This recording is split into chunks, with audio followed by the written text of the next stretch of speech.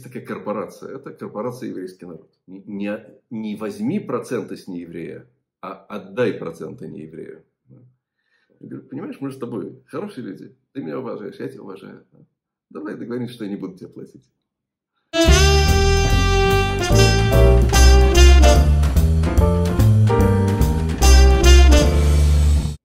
Глава КТЦ.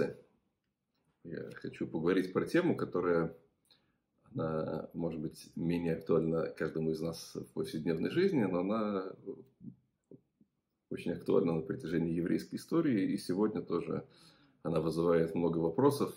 Это нам предъявляют как претензию ростовщичество.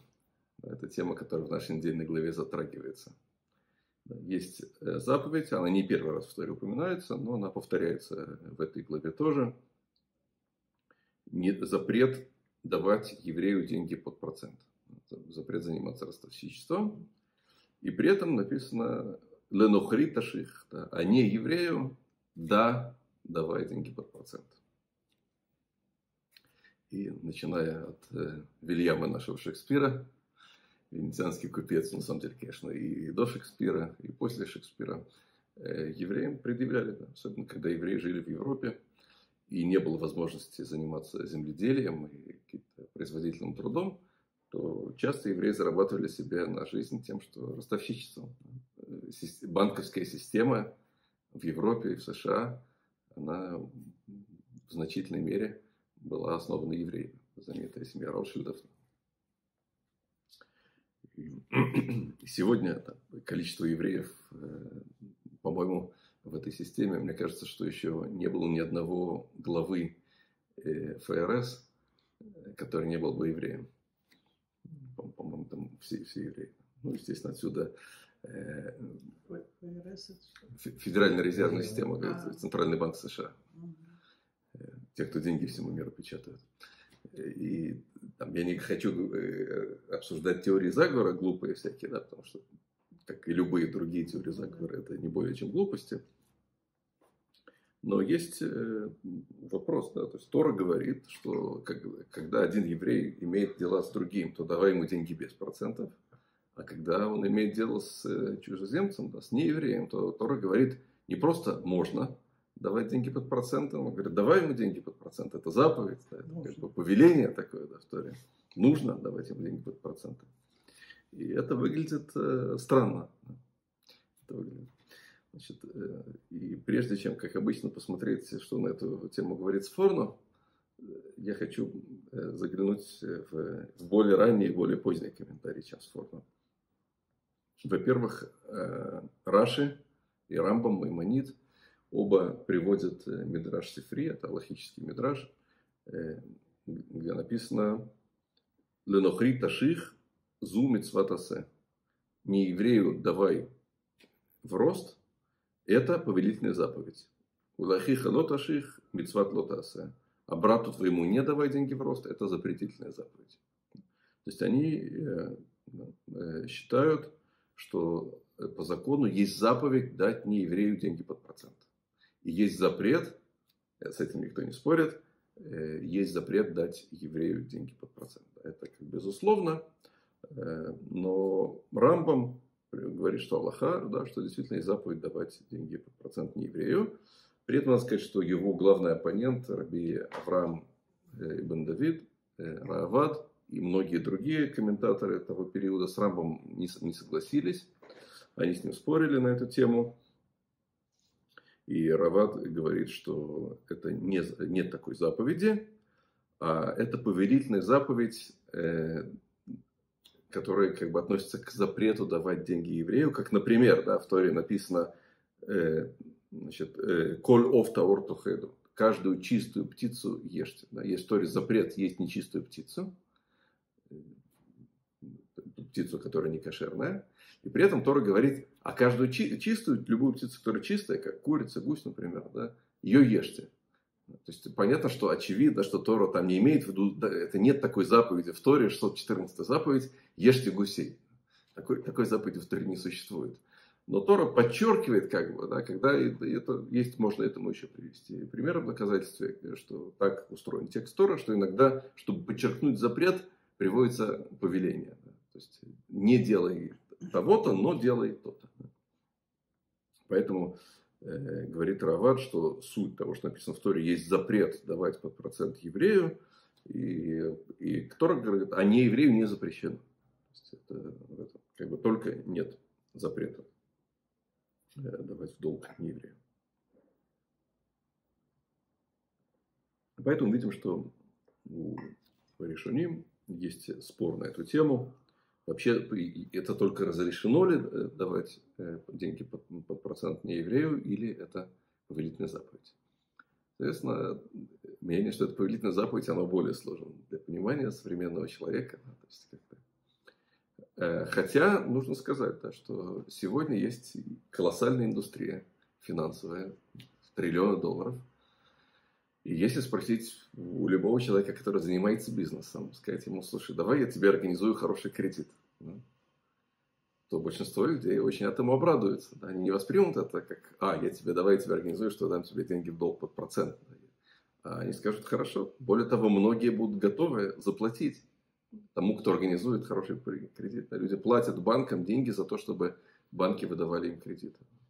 Платят э, деньги большой четверки чтобы они делали KPMG какой-нибудь, да, чтобы они делали хорошие отчеты, чтобы на основании этих отчетов банки давали деньги в кредит под проценты компании.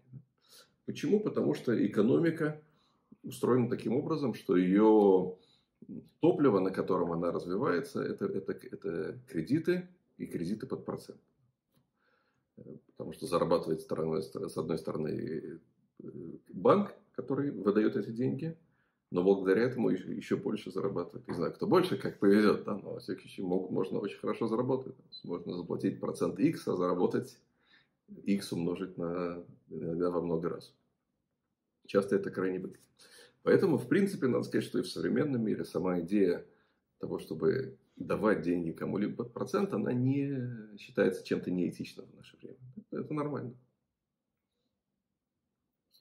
И поэтому я увидел э, хочу привести такой комментарий, очень, по-моему, важный. Э, есть такой комментарий на, на Тору, это современный комментарий, это начало 20 века уже, который называется Турат Мима, Борух Оливе Эпштейн.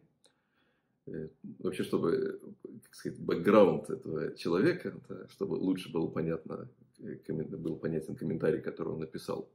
Борух Оливе Эпштейн жил в Пинске, это городок Беларуси на границе с Польшей.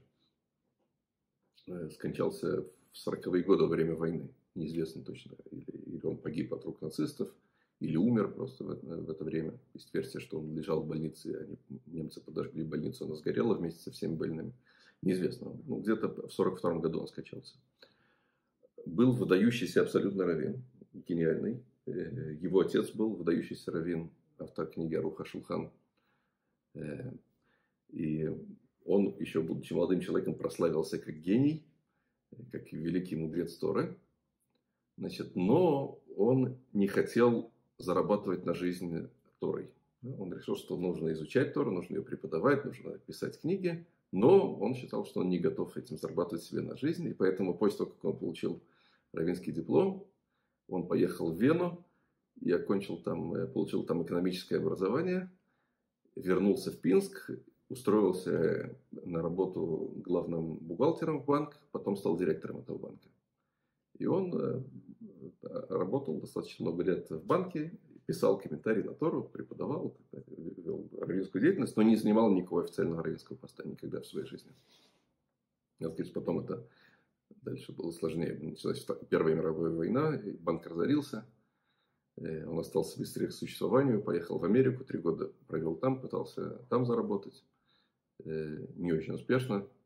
Вернулся в Европу и э, в итоге, в итоге скончался во время Второй мировой войны. Арборов Левиштейн, кроме действительно выдающегося, на мой взгляд, своего комментария на Тору Торат Мима, он стал известен во время суда над, над Бейлисом.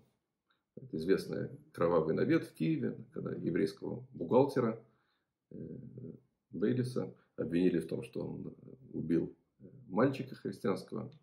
Было очень громкое дело. И была переписка, да, было много, много людей, евреев и неевреев. Это было очевидно, что дело было сфабриковано, и много людей встали на защиту Бейлиса и пытались это вообще, это был общественно очень значимый суд. И был такой крупнейший ученый, русский ученый Павел Константинович э, э, Каковцев, Каковцов. Э, был востоковед, гебраист. И у них с Равом Эпштейном была переписка на тему дела Бейлиса, потому что нужно было ответить не только конкретные улики, которые там, очевидно, были сфабрикованы, но и по сути вопроса, а вообще евреи, они какие, да, как они, используют ли они, например, кровь в ритуальных целях или нет. Эта переписка, я ее не нашел, э, где-то, надо в Ленинскую библиотеку идти ее искать, э, но она была опубликована, она прогремела, она стала очень, очень известна. И поэтому Раборо Халев Эпштейн, кроме того, что он был экономистом, он э, занимался тоже общественной деятельностью, и он защищал права евреев и боролся с антисемитизмом. Значит, так он, он пишет так в своем комментарии. Он говорит, что да, это, э, он говорит, что это претензия, то, что евреи дают под процент неевреям, э, говорит, уже роптали на это ненавистники Израиля, это антисемиты этот, э, всегда это использовали. Э, но он говорит, что на самом деле суть это, этого закона, он достаточно, она достаточно простая и очевидна. Говорит, когда вышли евреи из Египта и получили Тору, то это был, еврейский народ был обособленным народом. И они договорились, согласились между собой, чтобы каждый будет помогать другому. Представьте себе, что исторически, да, посмотрите на картину. Еврейский народ выходит из Египта и странствует 40 лет по пустыне – и находится в обособленном, особо, мало контактирует с другими народами, находится вместе. Пустыня – это место, где сложно выжить. И появился некий союз внутри еврейского народа. Евреи договорились, что мы будем друг другу помогать. В том числе э, помощь э, деньгами и товарами. То есть не только помогать знаю, накормить голодного, но и будем помогать друг другу зарабатывать на жизнь. Если кому-то из нас понадобятся деньги, то Э, то мы друг другу поможем. Так когда-то евреи договорились в пустыне. Э, и, и этот договор потом называл, что я не буду давать под процент тебе, а ты не будешь давать под процент мне. То э, я, как бы каждый еврей лишил себя права как заработать на процентах, но также он лишил права и, и, и взять процент, процент у другого еврея.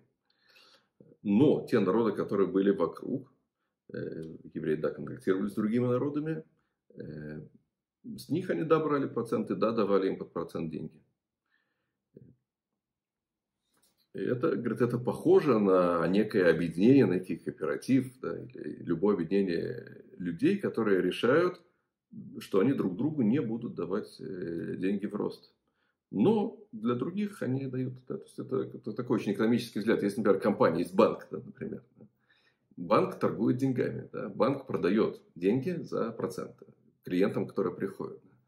Но будет очень странно, если внутри одного и того же банка э, один отдел другому, надо будет перекинуть внутри организации деньги из одной кассы в другую, сказать, хорошо, мы вам перекинем, но вы нам вернете с процентом.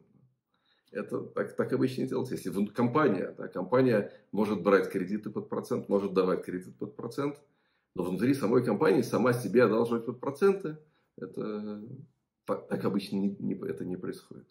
Есть такая корпорация, это корпорация еврейский народ. Можно так это. Э, это как бы, это принято везде, это, э, это он говорит, что э,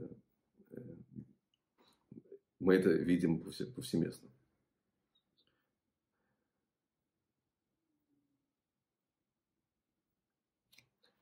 можно тоже привести такой пример, чтобы пояснить. Да. Так это, это уже, я слышал от имени Морали из Праги, что еврейский народ есть некий союз братства внутри еврейского народа.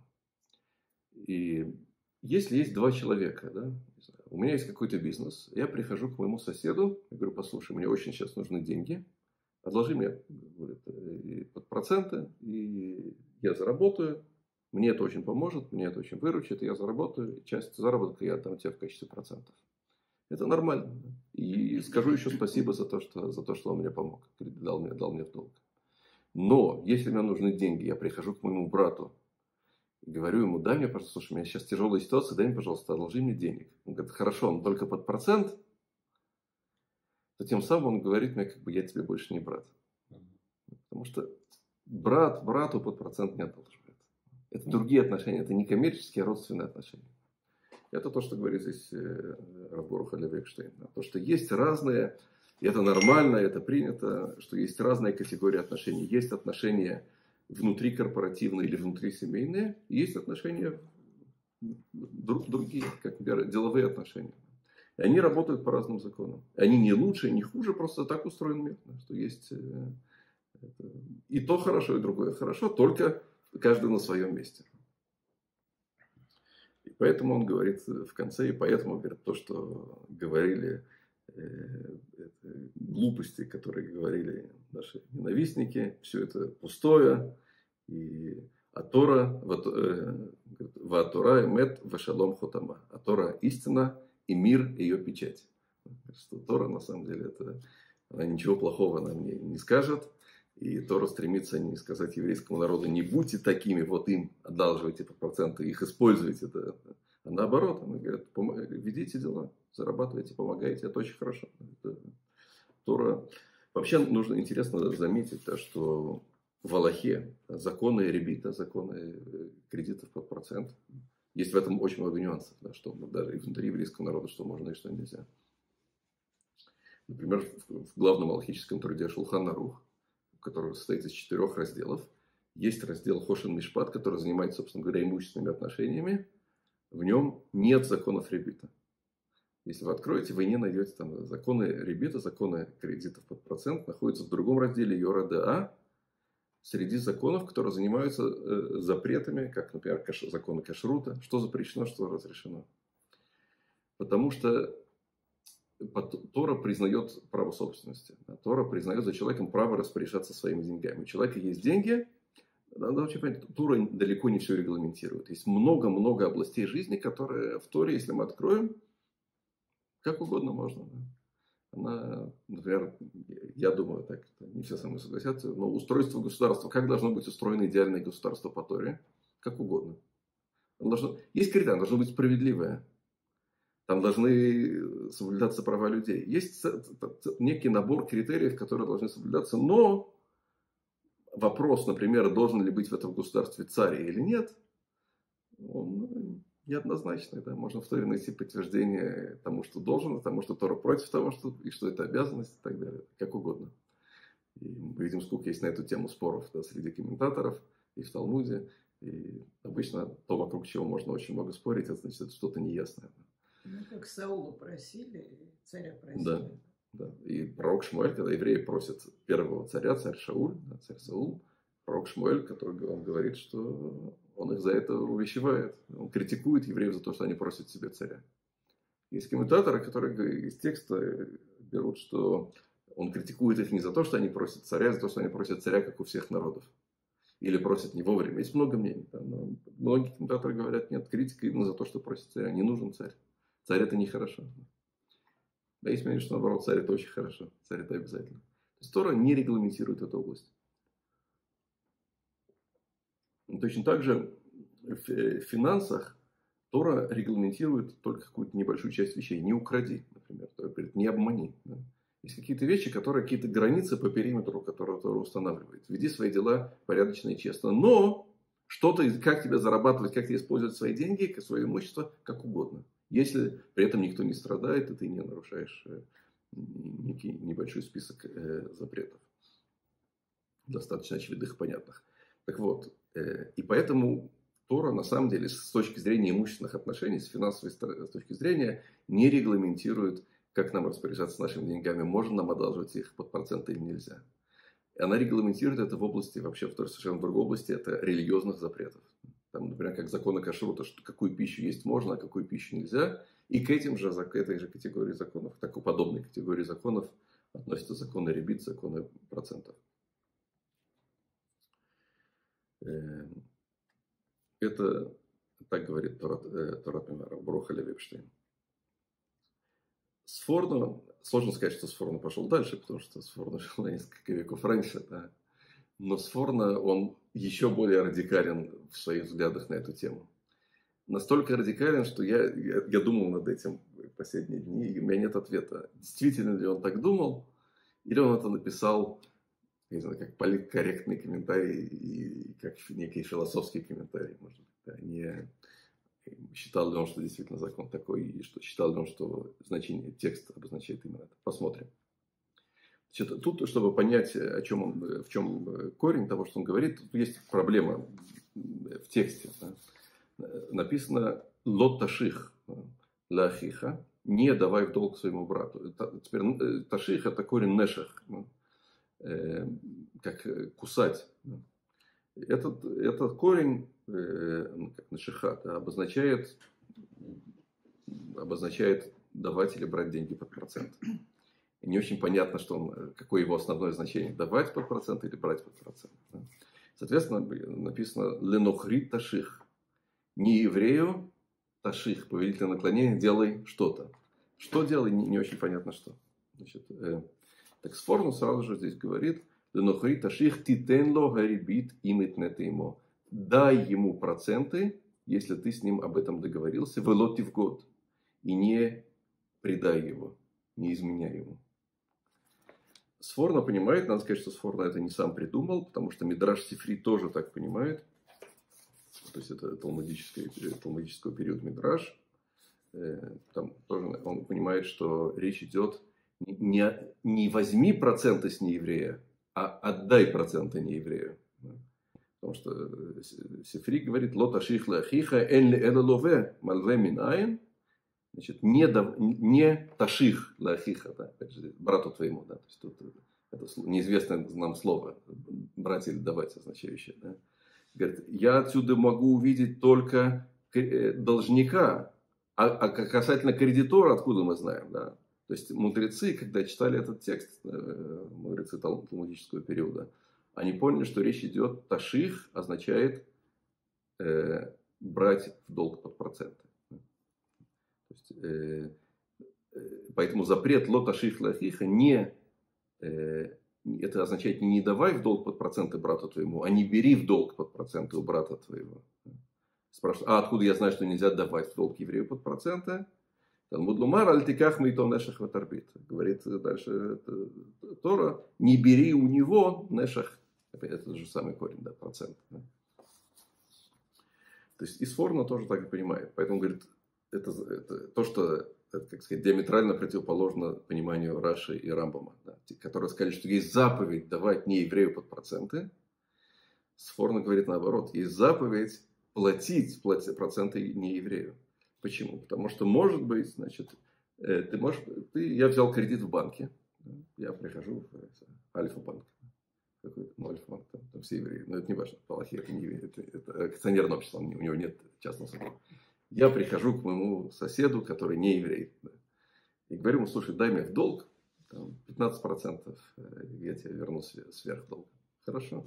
Приходит время платежа, я говорю, послушай, Василий, ты знаешь, я бы рад тебе заплатить то, что я тебе пообещал, да. Но смотри, давай откроем Тору, да. У нас написано процент это нехорошо. Да?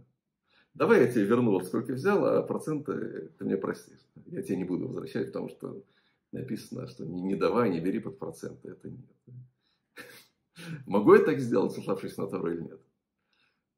Если, если это вообще, потому что если Тора запретила евреям друг другу давать под проценты, значит, наверное, это не очень хорошо вообще, да, такие взаимоотношения. Да? Значит, Тора не очень, наверное, позитивно на это смотрит. Я говорю, понимаешь, мы же с тобой хорошие люди, ты меня уважаешь, я тебя уважаю. Да? Давай договоримся, что я не буду тебе платить. Ну. Да. Это, говорит, про это идет речь, говорит, Сфорной. Поэтому сказал Тора, не еврею, говорит, еврею нельзя. Ты взял у своего соседа, у Мойша, взял деньги под процент, под 15 процентов, тебе запрещено да, вернуть ему проценты. Ты придешь возвращать ему и скажи ему, извини, я не могу тебе заплатить. Тора мне запретила. Тора аннулировала эту сделку, это целая история, да, это большая проблема. Если, если заплатил, обязан вернуть ему эти проценты обратно.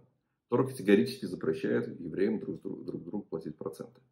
Можно делать бизнес вместе, да, есть такой способ, как ЭТРСК. То есть можно взять в долг и сказать, что э, я собираюсь на этих деньгах что-то заработать, и давай мы будем с тобой, например, делить прибыль не пополам, а я беру на себя все риски, почти все, 99.9% э, рисков, и я тебе плачу гарантированно прибыль, а если там, я не, не заработаю, то это будет э, там, ты, ты, в принципе, могу тебе не заплатить, но это крайне сложно. Называется ТРСК, это есть такой механизм, который используют. То есть Тора не запретила э, заработать на деньгах и поделиться прибылью. Да? Тора запретила взять долг под процент.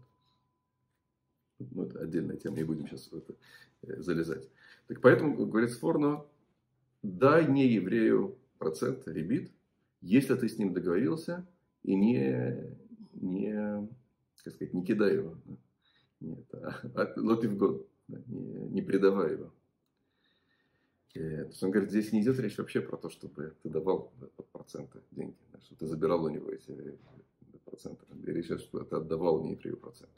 Да, и продолжает спор дальше. Улахиха лоташиха. Брату твоему не лоташих, соответственно, не это, э, не, не отдавай проценты.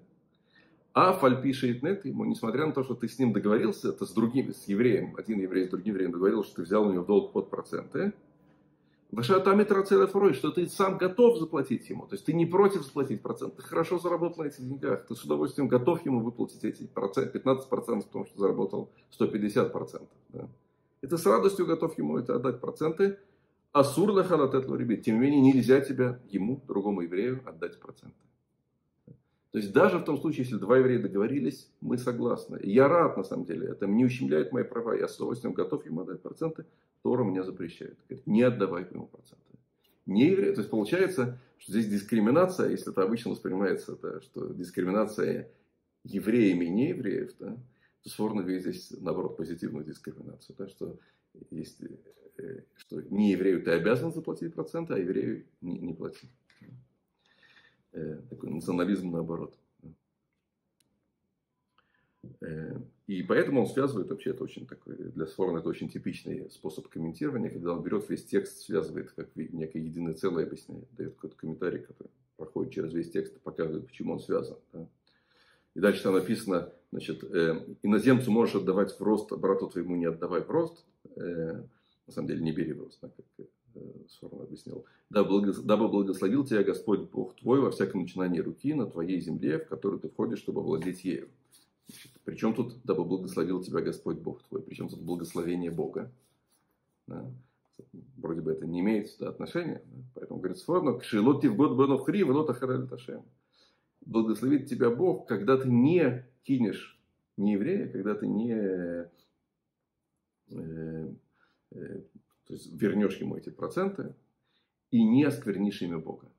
То есть ведите себя, ведите свои дела так, чтобы другие народы, которые с вами имеют дело, сказали, вот какие евреи молодцы, с ними приятно иметь дело. Они свое слово держат.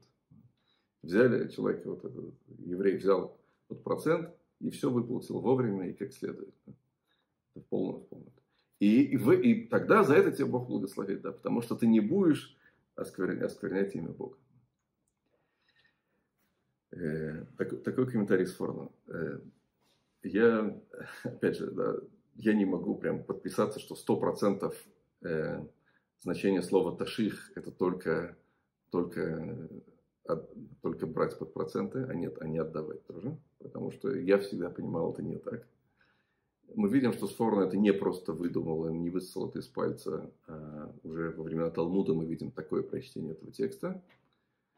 Но Сфорно здесь как бы переворачивает это и говорит, что то, в чем обвиняют обычно евреев, что евреи относятся к другим народам хуже, чем к друг другу, что у нас, сказать, в принципе, это обычное дело, да, потому что вообще, да, ну, тут э, короткая... Так оно и есть. Короткая... Надо ко всем относиться хорошо. Есть важный принцип, который в Торе, он очень такой, можно сказать, стержневой нас учили, что надо помогать голодающим детям в Африке. Надо где-то там вот далеко есть это. Сегодня тоже часто евреи есть сегодня есть такой появился такой светский иудаизм, да, который держится на таком понятии как тикун улам, исправление. В России это меньше, это распространено в Америке. Есть такой анекдот, что американский реформистский раввин приезжает э, в Израиль И на границе, на паспортном контроле пограничника спрашивает, how, how to say tikkun olam in Hebrew? Как сказать tikkun olam на иврите? То есть это стало уже, это стало абсолютно даже не еврейским, это исправление мира. Это стало таким в э, леволиберальном мире очень распространенным понятием. Когда надо, и молодые евреи, они ходят в какую-то еврейскую организацию, они не соблюдают ничего, у них нет, э, как бы, да, но чтобы проявить свое еврейство, надо потом поехать на год в Африку и там каких-то бедных детей помогать, что, наверное, прекрасно, очень важно и хорошо, да? но я думаю, что по Торе Тикун это не совсем то.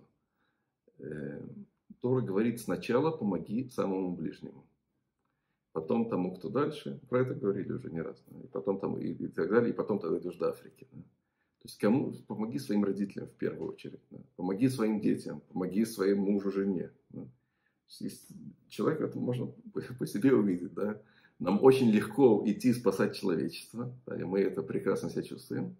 Но когда жена просит там это, э, вынести мусор, или, или муж просит э, там, покорми меня, это, ну, ну, чтобы менее стереотипно придумать, да, не знаю, помоги мне в чем-то, да, то у нас это часто вызывает злость, раздражение. Так мы не чувствуем, что то есть, если бы мы пошли, у нас была бы там одинокая пожилая соседка, я бы пошел бы, сказал бы, тетя Мань, давайте я вам мусор вынесу, нам тяжело. Я почувствовал себя таким очень хорошим человеком, да.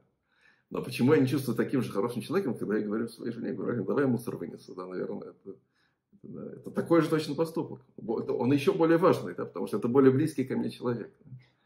Но но почему-то так мы, так мы себя... Чужую бабушку через дорогу переведешь быстрее. Конечно, конечно. И намного проще поехать спасать африканских детей, чем э, помочь своему соседу, которого ты каждый день видишь, и, или своему родственнику, которому ты про него забыл, и, может быть, ему намного больше нужна твоя помощь.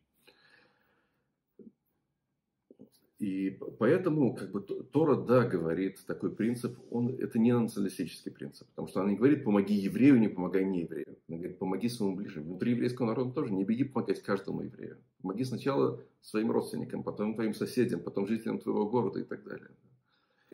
Э, этот принцип, мне кажется, он очень мудрый и очень, и очень важный, и очень правильный, на мой взгляд. Э, и, поэтому, да, Тора говорит, что отношения внутри народа они более тесные, чем отношения с другими народами. Отношения внутри колена, они более тесные, чем отношения внутри народа. Отношения внутри семьи, они более тесные, чем отношения внутри колена. Эм, и отношения между мужем и женой – это самые, самые тесные и важные отношения, которые есть. И в них надо больше всего вкладывать. Как Рамбам это приводит тоже на Аллаху, о вака гуфу махавдают армикуфу это, что это закон, это Аллаха, что мужчина, муж должен любить свою женщину как свое тело, как самого себя, а почитать больше, чем самого себя. Есть четкие критерии. Да? Нужно любить как, насколько, как самого себя, свою жену, а уважение, почет давать ей больше, чем ты готов давать себе самому. Ну, не обязательно много больше, да, но главное, что, главное, чтобы было больше. Э, это что очень сложно. Я думаю, что немногие могут похвастаться, что они сильно преуспели в этом. Э, и поэтому, да, Тора говорит, э, помоги сначала ближнему, потом дальнему. Говорит, да, Тора говорит, внутри еврейского народа не давай под процент и не бери под процент. А с другими народами, да, можешь иметь такие отношения. При этом очень важно тоже, как текст читается например, в Торе написано Махалалея мот юмат, нарушающий шаббат, шаббат, да будет умерщвлен. И он, убей его, да, нарушающий шаббат. К счастью, слава Богу, слава Богу. Я не видел здесь в шаббат евреев, которые выходят на дороги и взрывают проезжающие машины. Почему? Потому что да, так написано в Торе. Но мы это, как мы интерпретируем этот текст, нам это большое чудо надеюсь, что дальше это будет сохраняться, что мы интерпретируем это убей в буквальном смысле, да, что если суд, когда есть храм, только есть большой санедрин, который имеет право вообще казнить, если он казнит раньше, чем 70 лет, чаще, чем 70 лет, то он вообще называется кровавым. И так два свидетеля должны предупредить, и миллион разных всяких, да, и судьи должны защищать и оправдывать подсудимого. Если после всего этого, тогда казни. что в наше время невозможно никогда и ни при каких обстоятельствах. Э, и, э, и то, то, то же самое здесь, да, то есть просто как мы, э, как мы читаем эти законы.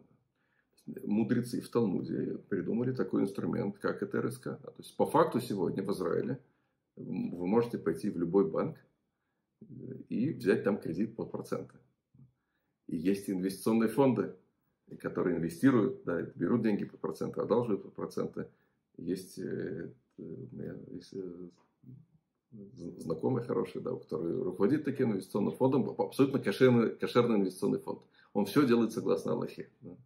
И ничего, прекрасно зарабатывает. Очень успешный, прибыльный инвестиционный фонд. И поэтому наши мудрецы, когда прочитали этот закон, они его интерпретировали, я думаю, что и в доталмудический период тоже, то есть по факту, что да, нельзя давать просто под проценты, но можно делать вместе бизнес. Да. И придумали такой инструмент, как ФРСК, который сегодня распространенно используется, как можно отдавать и брать деньги под проценты, не нарушая при этом Тору. То есть Тора не запретила бизнес. Тора ограничила, поставила какие-то границы, чтобы бизнес не был совсем... Э, она чуть-чуть за, за социализм. Немножко. Да. То есть она говорит, все-таки э, сделай, построй, постройте... Э, да, есть частная собственность, да, есть бизнес, но делайте его так, чтобы никто с голода не умер. Да, не просто, чтобы никто с голода не умер, а все-таки делайте поставьте этому какие-то границы. Э, я думаю, что взгляд, что рынок сам наведет порядок, рынок сам все распределит, решит, и всем в итоге будет хорошо. Кроме того, что, по-моему, наука экономическая доказала, что это, это был ошибочный взгляд. И, и реальность доказывает, что он, пожалуйста, есть абсолютно свободный рынок, и все еще куча бедных, несчастных и так далее. Э, но Тора говорит, она, с одной стороны, да, да говорит, можно и Э, делать бизнес, при этом она ставит какие-то границы. И есть, э, есть много-много законов ребитых, нужно изучать законов, как, как можно вести кошерный бизнес. И наши мудрецы это в итоге прочитали так, что мы, да, ведем друг с другом бизнес, с евреями и с неевреями, и все прекрасно работает. Но то, что интересно, как, как Сфорна прочитал этот закон, он э, показал, что Тора не относится к неевреям хуже, чем к евреям. Нам нечего, как сказал Раф Барух Эпштейн, нам нечего стыдиться. Тора истина, и печать ее мир. И поэтому там все, можно быть уверенными, что там это очень мудрая вещь, где все остается актуальной по сей день.